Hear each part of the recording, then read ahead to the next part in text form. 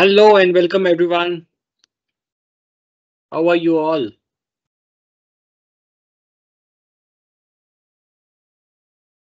All good? Okay. Just give me a thumbs up on the sound check, audio check, video check. And screen check. All good? Okay, let's start everyone for our last few topics of your chapter number one. So here we are going to discuss about the rect rectification entries which we covered in the last session. And the last session, I give you all the brief about what needs to be rectified and how it needs to be rectified and when it needs to be rectified. So we learned about how majorly and when and obviously what needs to be rectified. So these are the three major things which we covered. I have also told that I'm going to do one more question with you all that is illustration number 34 in your book. So we will have a knowledge about impact on the net profit of last year. Okay, so we are going to cover this and then we will move ahead with the remaining topics. Let's do it. In the books of accounts of A Company Limited for the year ended 31st of March 2019. So our books is closing on 31st of March 2019. Then it was closed with a difference in the books carried forward. So there was a difference the following errors were detected subsequently. So they have detected some of the errors later on after closing the books of accounts. So there were three situations. First, the error has been detected before trial balance. Second, after trial balance, but before closing the books. And third, after closing the books. So this is the third situation we are talking about. After closing your final accounts, we have detected some of the errors. Now, what can we do out of these? Let's see. First, return outward book was undercast by rupees 100 so what do you mean by return outward? What is return outward? I will give you two terminologies. You have to tell. What is return outward and what is return inward. Before doing the adjustments, we need to first know what do you mean by these two terminologies. Come on. What is return outward?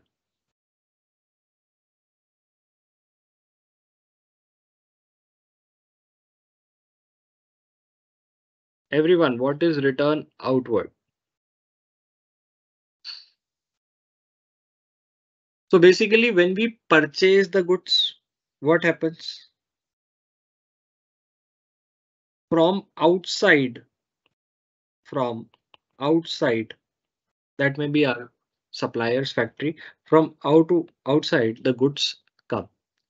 But when i return these goods so this is called return outwards.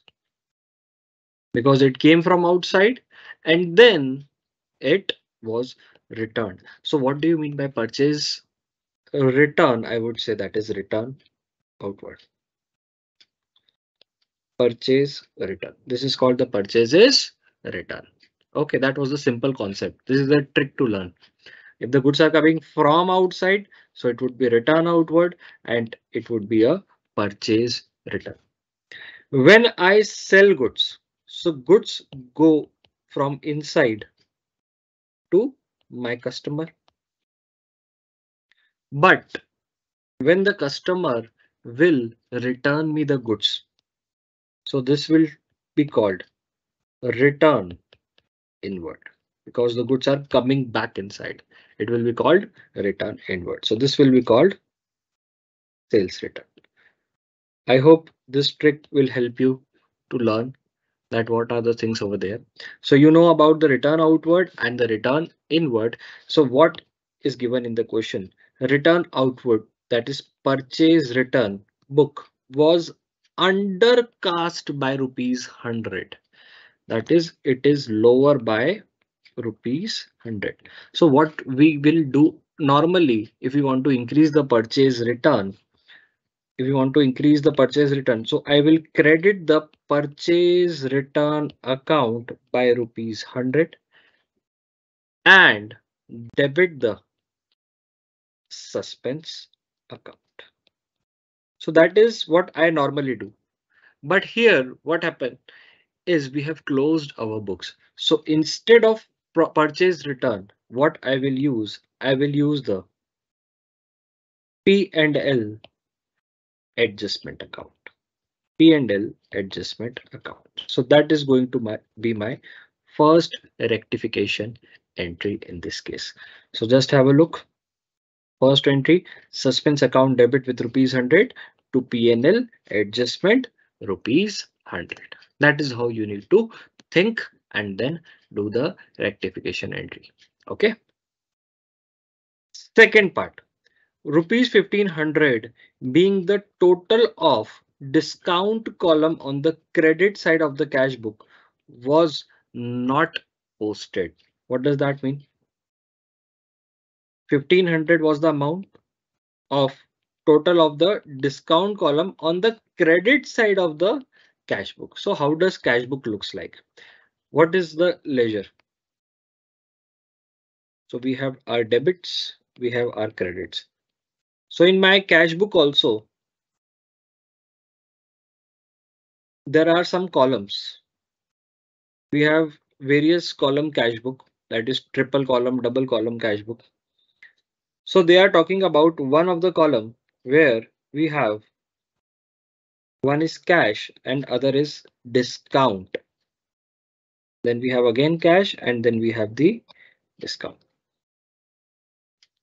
So one of the total on the credit side, I had a total of credit side of 1500. It is 1500 being the total discount on the credit side was not posted.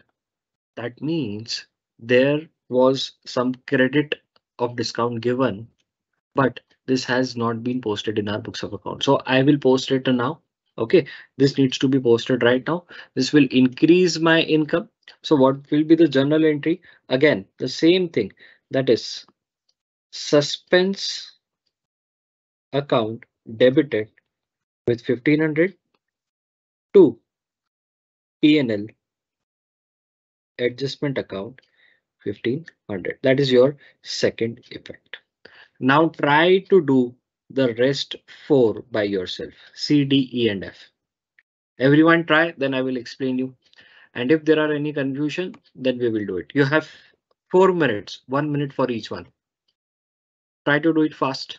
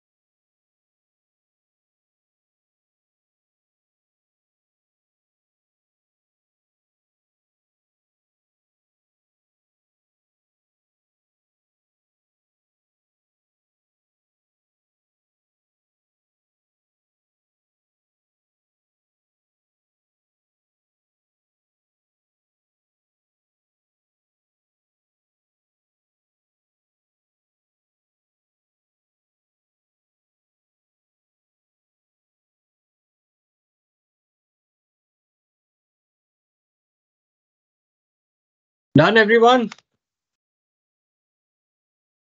So there was one doubt which I received that uh, how come this needs to be credited in the second one. So basically on the debit side, whenever there is a discount given, that needs to be mentioned. That is your expense. On the credit side, there is discount received. That is your income. So whenever you have your income increase, it will be credited as per your rules of accounts. OK, so just remember those rules. You will be through all the journal entries. It is very easy. Not a rocket science, but just a place where you can focus on your concepts and apply those at the right time so that you have the right answer all the time. Moving on to the third part, 6000 being cost of purchase of office furniture was debited to what? Purchase account. It has been debited to the purchase account. So if it is debited to purchase account, my purchases are higher by 6000 which should not be done. OK, so I have to lower my purchase and for lowering my purchase, I need to credit the purchase account. So the credit needs to be done to whom? To the purchase account. But my books are closed. So what i will do? I will again use two pnl adjustment account for 6000 rupees. But what i need to debit? Should i debit the suspense? The answer is no. Here I know that this is the furniture which I am talking about. So I can directly debit the furniture. Because the furniture was purchased. So debit what comes in. So furniture account debit 6000 to PNL adjustment. That was your next journal entry. Office furniture to PNL adjustment 6000 rupees.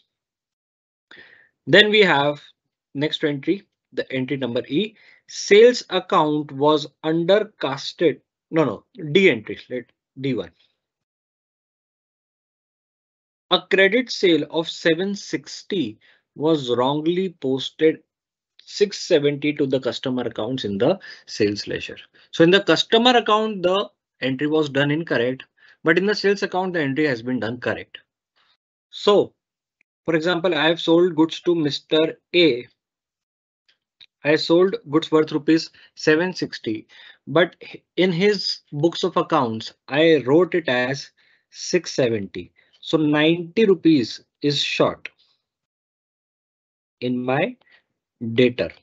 90 rupees is short in my debtors. So I have to increase my debtor by 90 rupees. So what entry I will do? I will debit the debtors account by rupees 90 and I will transfer that to suspense account rupees 90. Sir, why you have not used the PNL adjustment account? Because debtor is not a PNL item. It is not a PNL item. It is a balance sheet item. Okay, so for the balance sheet items, you need to take care of these journal entries. Then going to the next part. The sales account was undercasted by 10,000 being the carryover mistake in the sales daybook. So sales is undercasted by 10,000. So to correct this, you have to increase the sales. How to increase the sale? By crediting the sales account. So I do I need to do the credit, but my books are closed. So what I will use again my PNL adjustment account will be used over here. So here it would be suspense account debit to PNL adjustment 10,000 and then 10,000. Okay, that was your part number E. And going to the last part, closing stock was overcasted by 10,000 being casting error in the schedule of inventory. So in the inventory schedule, your closing stock was overcasted by 10,000. So what does that mean? You have to lower the closing stock by 10,000. So your closing stock account would be credited and your PNL adjustment account would be debited. But sir, here they have used the opening stock. So beta, the closing stock of the last year will become the opening stock of the current year. Okay. So that is the adjustment which we have done. It will ultimately go to the stock account. So whatever you use, that is fine. So these are the all adjustments, six adjustments which we did. Now, if I prepare a suspense account ledger, just doing the posting of the suspense account. So here I have for in the first entry, I have a debit suspense 100. Then we have 1500 suspense debit again. So 100 has came, 1500 has came. Then we have credit suspense 90. Then debit suspense 10,000. So 10,000 here, 90 over here. That is the all which I have done till now. Okay. Now I have to find out the next part of it. The next part of it means what? What is the effect on profit? What is the effect on profit? So wherever you have used PNL adjustment account, your entry will come in the effect of profit. Like for example, let's talk about the first journal entry where I debited the suspense account and the PNL adjustment account was credited. So whenever the PNL adjustment account is credited, your profit will increase. So from the first entry, sorry, the PNL, uh, the profit will decrease. So the uh, entry would be suspense account debit to PNL adjustment and it will result into decrease of profit by rupees 100. That is your first. Now, if you go to the second one, the PNL account is again credited with 1500. So this will decrease the profit by 1500. Then the third credit PNL adjustment by 6000. So decrease the profit by 6000. On the fourth journal entry, there is no PNL adjustment. So there will be no effect on the profit. Then we have PNL adjustment account in credit. So this will decrease the profit by 10,000. And then we have PNL adjustment account debit with 10,000. So this will increase the profit by 10,000. So these are all the journal entries as a result of your transaction A, B, C, D, E, and F. The D1 does not had any effect on PNL, so that is why it is giving no effect. Rest all has the effect on the profit. So if you total out these all, the total on the increase side is 10,000. On the decrease side, it is 17,600. So my overall profit will be decreased by 7,600 as a result of these errors. That is the balancing figure which I have received. Okay. So that is the balancing figure which I need to show to the examiner. And here if you see the suspense account. So on the left hand side here the total is 21,600 and here the total is 10,000. So whatever is the balancing figure it has been posted in your trial balance over here. Sorry, sorry, there is a mistake in your book. What entries we have already posted? We have posted PNL adjustment account here. These three entries has been done on the debit side and this entry has been done on the credit side. One entry is missing over here. So from A, 100 has come, 1500 has come. 100 is here, 1500 is here. From third, there is no effect on your suspense account. On fourth, there is credit of 90, so credit 90. On fifth, the suspense account is debited by 10,000, so this is also here. So they have given a incorrect totaling here. If you total this side, the debit side, it is 11,600 right now. And on your credit side, it is just 90. So whatever the difference is, that is double one five one zero. That would be your balancing figure and that would be your difference in the trial balance, not the 21 150 this is incorrectly written over here you can just cross it out from your books okay so that is how we can do the trial balance uh, differences. We can calculate the trial balance differences. We can calculate it, the effect on profit and we can do the rectification entries. Now, obviously this whole thing won't be a 10 mark question to you, but it will come in just one mark. So every aspect is important of this question. Not just these, but the other questions as well. Okay, so do your part, do your practice, and then we can discuss about your queries with respect to this. So for the rectification, these all were done. If you want some simple examples, just look at the illustration number 35, where they have given the trial balance of a concern has agreed, but the following mistakes were discovered after preparation of the final accounts. So first example, no adjustment entry was passed for an amount of 2000 relating to the outstanding rent. So if entry is not passed, the expense is not booked. Expense is not booked. That means what? Profit will be overcasted by 2000.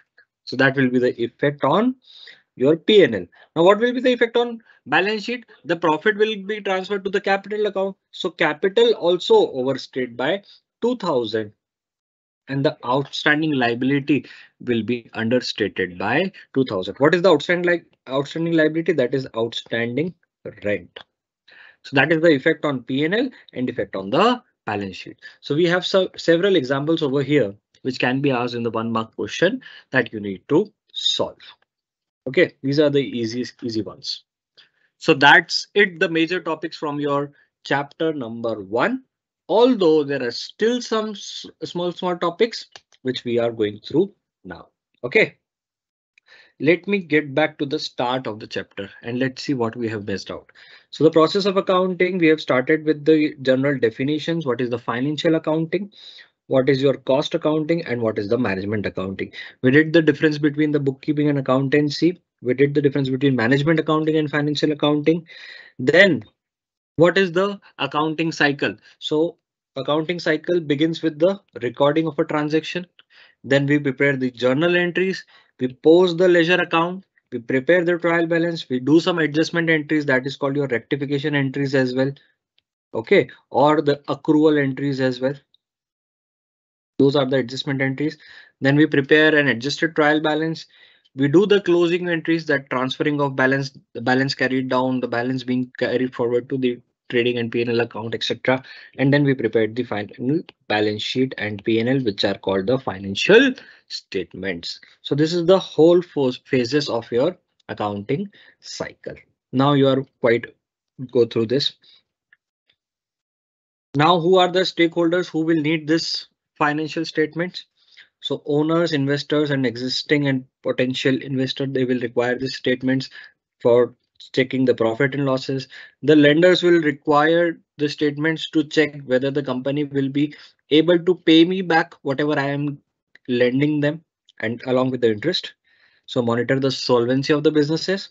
Capital and customer for the stability and growth government for the taxes and the legal requirements, employees for growth and profitability, because any employee who's working in the organization, he needs to know whether I am able to grow in this organization or not. If I am not able to grow, I will not join that company. That company is not good for me. Is there any doubt? Today, there is a lot of silence. There can be two things that you are not understanding at all or you are understanding everything. So just clear me which one of the assumption is right. Are you getting everything or you are not getting anything at all? Come on, everyone.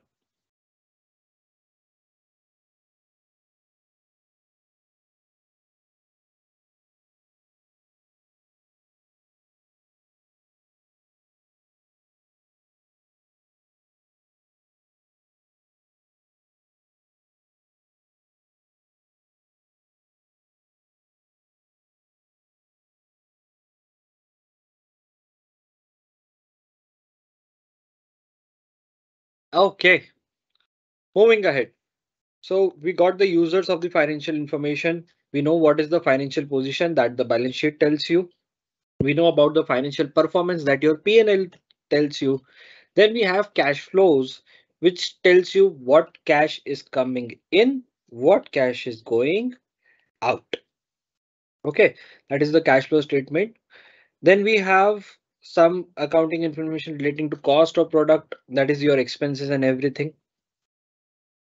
Then we discussed about the qualitative characteristics of accounting information that our account should be reliable. That means the accounts are correctly prepared. There is a faithful representation of accounts. We have applied the substance over form. What do you mean by substance over form? Substance over form. What do you mean by that? That means the substance of the transaction should be given more priority rather than just the form. Okay, the substance of the transaction should be given more priority rather than just the form itself. For example,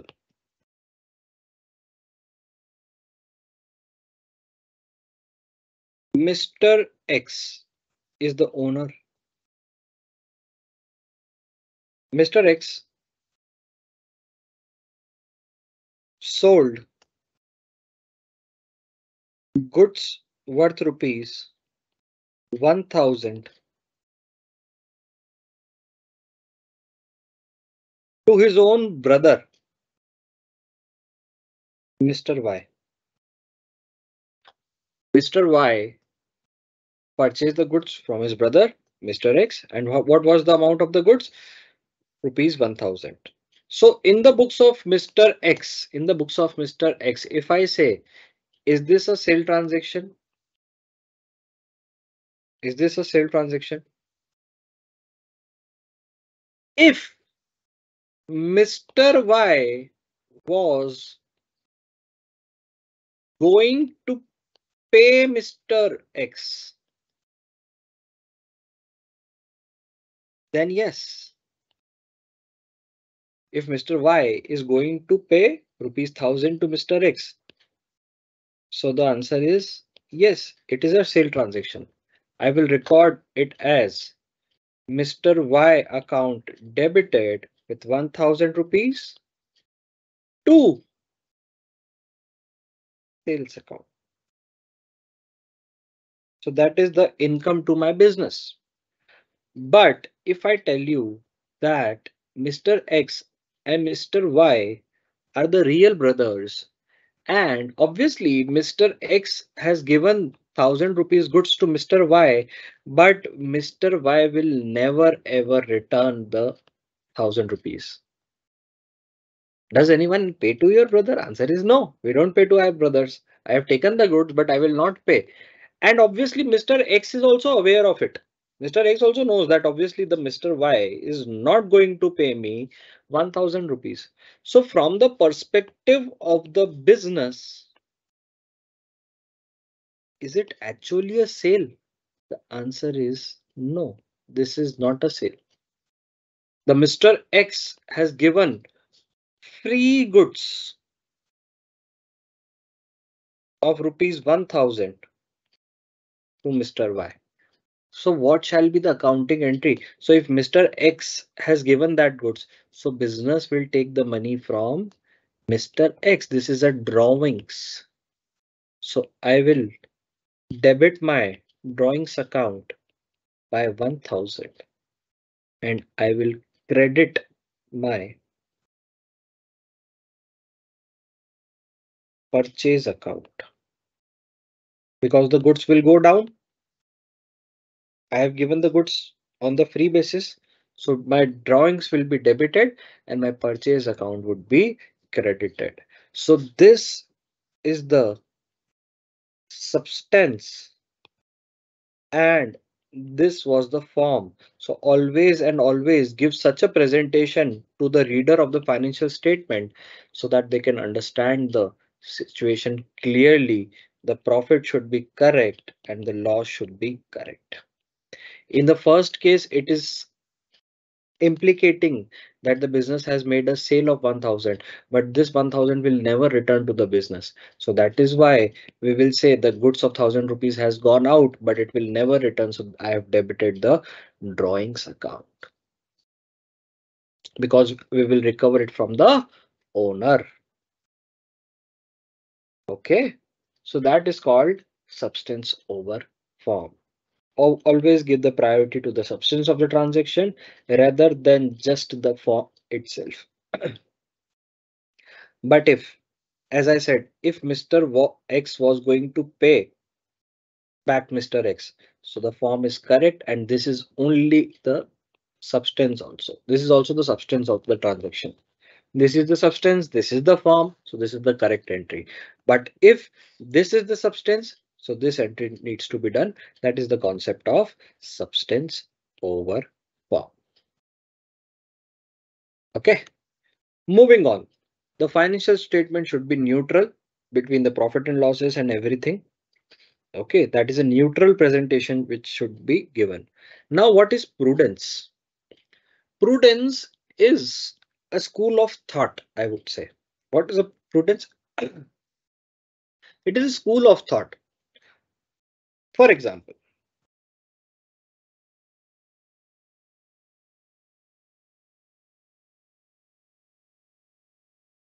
A enterprise.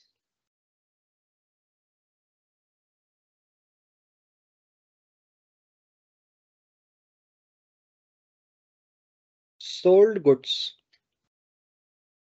rupees 1002 1002 rupees goods a enterprise sold to Mr. Ram.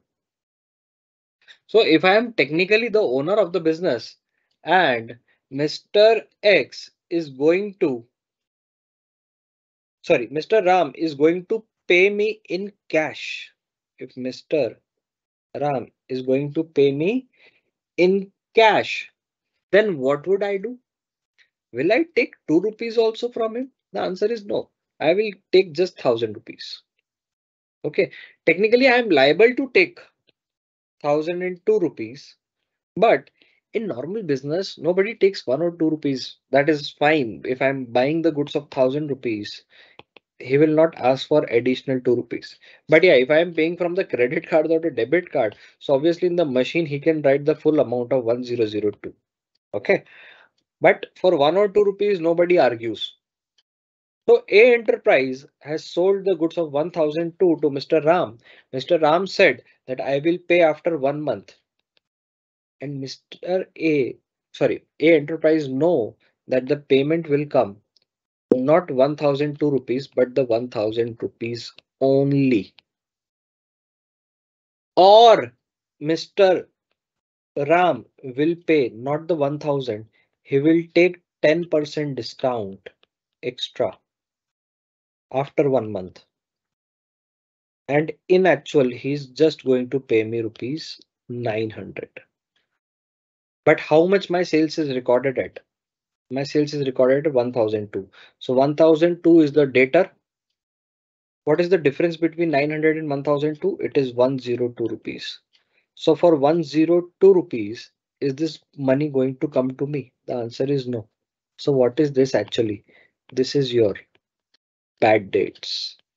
This money will not be refunded. If I have given discount, so this should be the discount allowed.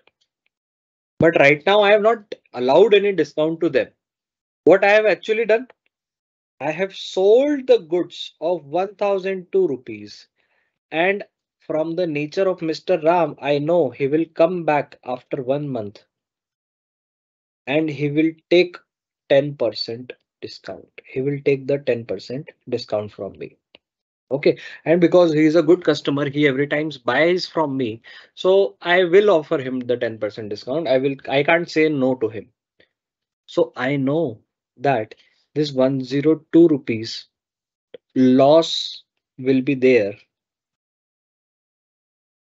in future. So what our accounting concept says, there is one accounting concept called conservatism.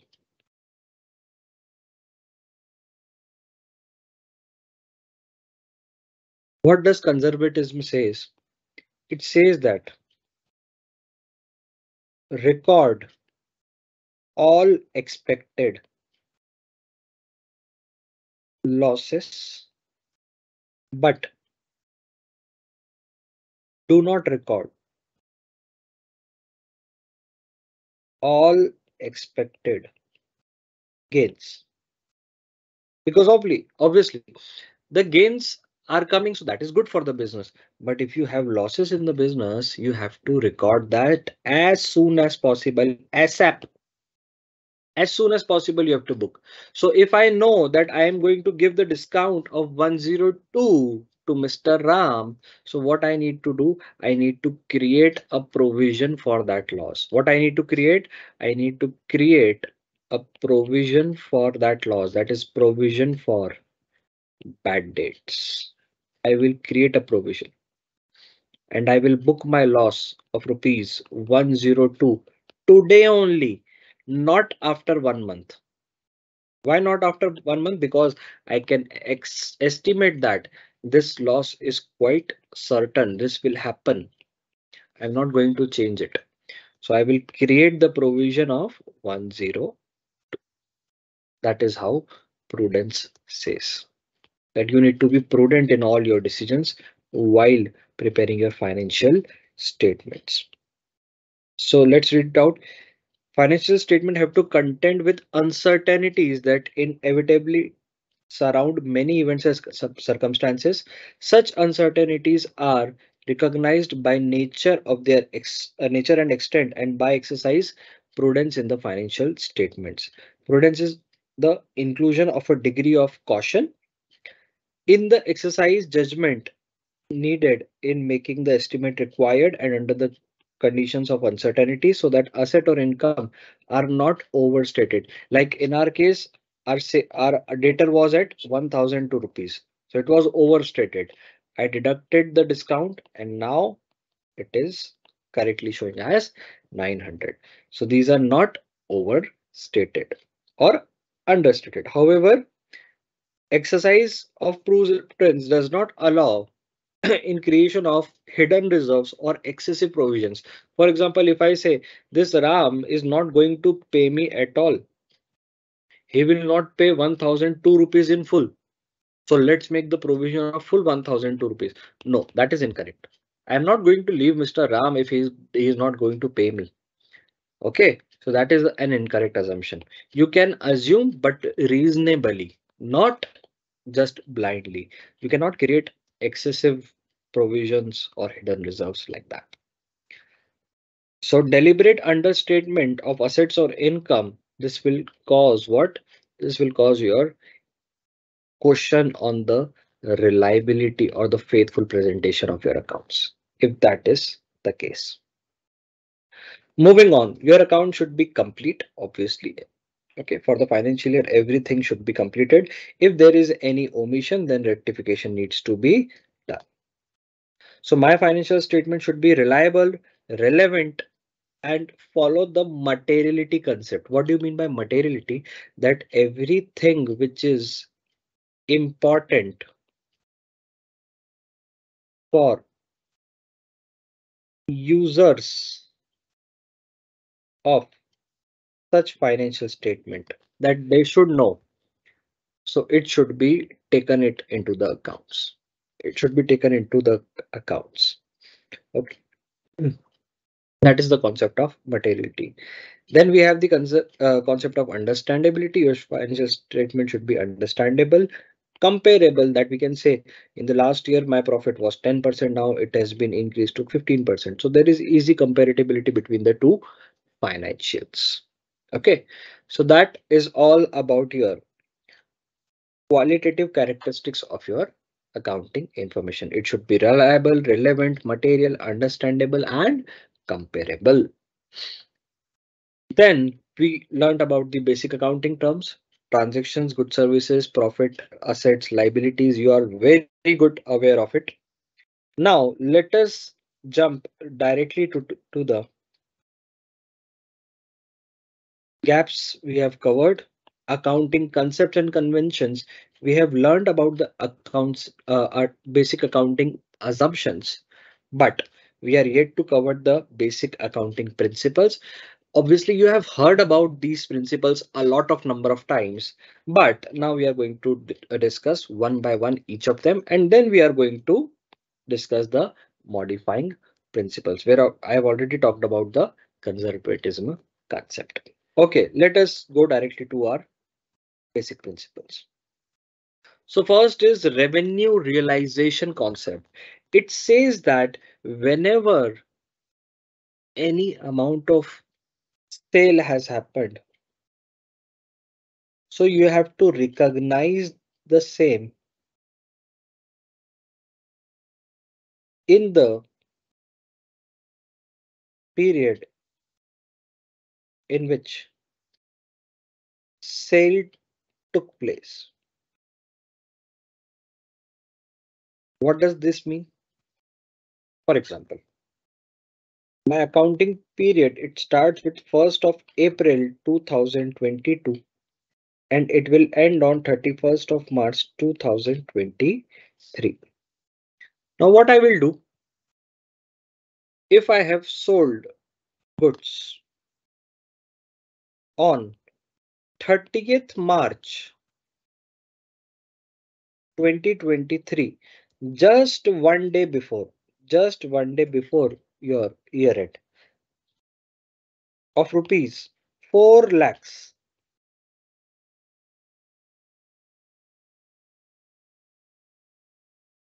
Which will be sorry realized realized means it will be paid in uh after three months.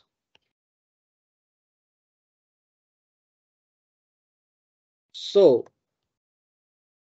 in which year revenue should be recognized. Come on everyone. Try this. In which year the revenue should be recognized? In the year which the sale is made 22 23 or the next year 23 24 come on everyone. Whoever is sitting and listening i need your comments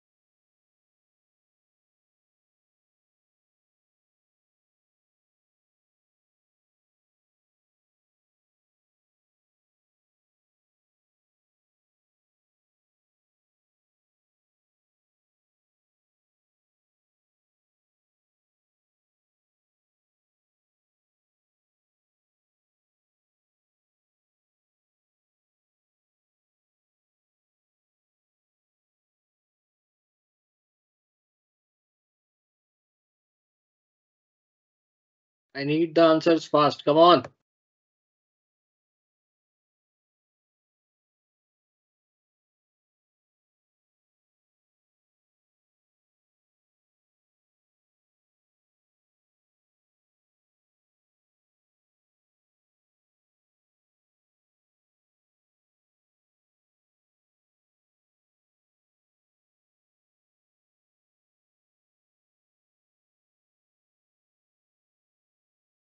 So the answer would be 2022-23 because actual sale has been taken place on 30th of March 2023, which falls into this period. Although the money will be received later on, there is no question that the money will not be received. It will be received, but after three months. So this is nothing but your debtor. This is nothing but your debtors. But if I say the goods are sold on 30th of March and are returnable within two months, returnable within two months. If it is not returned uh, within two months, then the goods will be considered as sold because from my prior experience, 100% of the goods are returned, which is not practical, but, but a hypothetical situation which I am giving you. So if the goods are returnable after two months, then I will book the sale after two months, which will be in the year 2023-24 because of the returnable period and my experience which is saying that 100% of the goods are returned within the two months itself. But if it is not returned, then I can book the sale. That is the correct presentation which I can do. So that is what our rec revenue recognition, sorry, revenue realization concept says. Okay. See, we have one example here. Consider that a store sells goods for rupees 25 lakh during the month on credit. The experience and past data shows that generally 2% of the amount is not settled that they will not pay. The revenue to be recognized will be only 24.5 lakhs because the rest would be the bad debts. Although the conceptually the revenue recognized at this value the doubtful amount of 50,000 being 22% of 25 lakh is often cons considered as an expense. We can make a provision for it, right? So that's what we can do from our end. Moving on to the matching concept. What does the matching concept says? That current year profit should be equated against the current year losses. So if I have made a sale. So obviously to make that sale, all the purchases should be in the current year itself. Then only I will get the correct profit. If it is not happening, the profit would be incorrect. So that is what matching concept says. So if I have one expense, if I, I have one expense that does not belong to the current year, so it should not be considered in the PNL in the current year. It will be considered in the year in which it accrues. So it, if it is for the next year, the next year it will be considered. Okay, that is about your matching concept. Then full disclosure concept that whatever data, whatever assumptions you are using, that should be clarified, summarized, aggregated, and explained for the purpose of presenting the financial statement so that the users can make a meaningful interpretation out of the information. So that is the full disclosure. You have to disclose every information, every principle which you are using. Okay.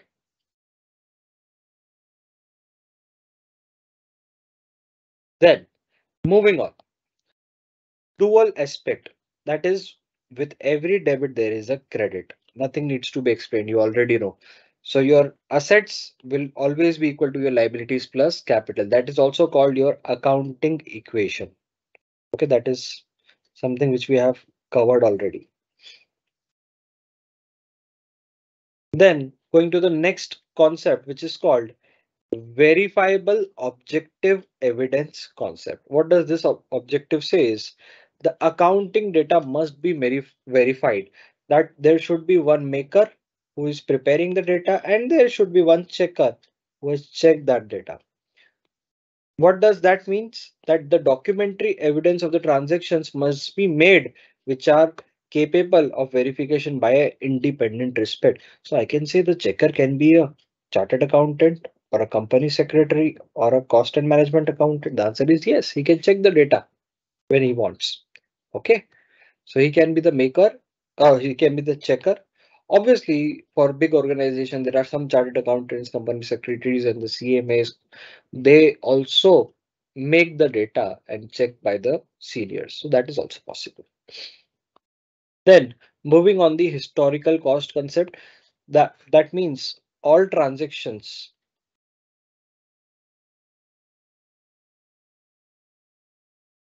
are recorded only after they take place. So that means I am only booking my historical transaction. I cannot book my future transaction. For example, tomorrow my bank will charge me 50 rupees. So can I debit my bank account today? The answer is no. Whenever it will charge, you can debit your bank account. So that is called the historical cost concepts. If I purchased a land, it is of 1 lakh rupees in my books. Okay, the land is of 1 lakh rupees in my books. After five years, the value of the land is 20 lakhs. Can I change that value? Answer is no in my accounts all the cost comes at the historical cost so in my accounts it will be shown at 1 lakh rupees only that is the historical cost concept okay but obviously if you have bought a machine of 1 lakh rupees so every year the value of machine will down get down due to depreciation so you can charge the depreciation and bring down that value because after a period of time, this will be zero. The machine will be of no use. That is why we are applying the depreciation as per the prudence concept. What is prudence? We are booking the expected losses. So these are all interlinked. The answer is yes. These all concepts are interlinked. Okay. Then balance sheet equation concept, you already know that your debit should be equal to credit. That means assets should be equal to liabilities plus capital. Okay. Then we have some modifying principles. What is modifying principles? These are your general concepts of materiality. What is material? What is important? That should be considered. For example, if my balance sheet, I have two sides, liability side and asset side. Okay, so on the liability side, the total is coming to be 1 lakh 2000 100 0.5 0.5 rupees. Okay, 1 lakh 2100 and 0.5 rupees. On the asset side, it is coming to be 1 lakh 2100 and 0.49 there is a difference. How much is the difference? It is 0.01. Whether it is important to reconcile this difference? The answer is no. Why no? Because the difference amount is not material. It cannot influence the decision of the reader of the financial statement. So you need to define what amount is material. So if I say there is a for my business, I can say the material amount is any amount which is above 2%, which is above 2%. So for uh, let's say the total was of the liability side is 1 lakh rupees. So 2% would be 2000 rupees. So any difference above 2000 that needs to be reconciled. Rest all can be considered as a non-material differences. But ideally, every rupee should match. Ideally, every rupee should match. Okay, that is the basis of your account. So that is the concept of materiality as well. Then the concept of consistency that whatever practice you have followed in the previous year that you need to follow in the current year also and then you need to follow in the next year also. For example from your experience you can say that i have made a sale of rupees 1 lakh. From the experience i always receive 98000 rupees only. So there is 2000 rupees of bad debt 2000 rupees of bad debt every year. So what i will do? I will make a provision for bad debt of 2% of the sales of the 2% of the sales. That means 2000 rupees. Okay?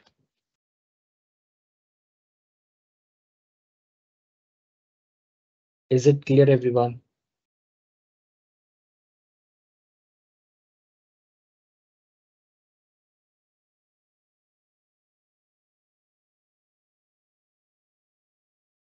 any doubt anyone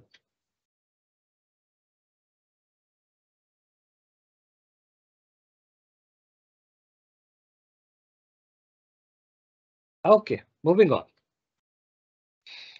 Then the conservatism concept, which says that you can delay in recognizing your income once it is reasonably sure, but immediately, immediately, immediately recognize the expenses when you are reasonably sure that there is a there would be some possibility of any expense. So you need to recognize that easily. That is the conservatism.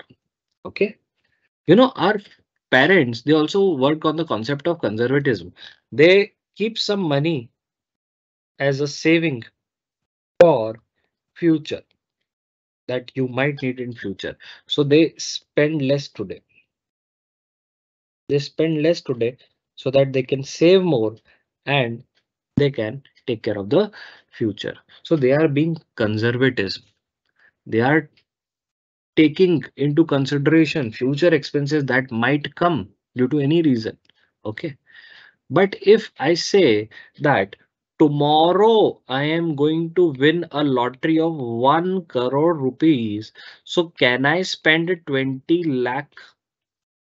The answer is no. This 1 crore has not come yet. When it will come to me, then only I can consider that. This will come tomorrow, so I am not going to consider that. When it is come, then we can consider it into the books of accounts. Is it clear, everyone?